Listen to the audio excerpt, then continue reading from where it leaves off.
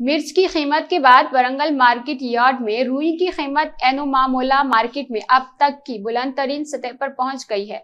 ताजिरों ने रुई की कीमत दस हज़ार तीन सौ दस रुपए में फरोख्त की, जो कि इसके आगाज़ के बाद से मार्केट की बुलंद तरीन कीमत बताई जाती है। मंगल को कपास दस हज़ार दो सौ तीस रुपए फ़ी कुंटल के हिसाब से फरोख्त हुई। कपास के काश्तकार उनकी पैदावार की कीमतों के लिए नए रिकॉर्ड को छूने के बाद खुश हुए हैं। 8 मार्च को अनुमामोला मार्केट यार्ड में मिर्च की कीमत भी बुलंद तरीन कीमत पर फरोख्त हुई।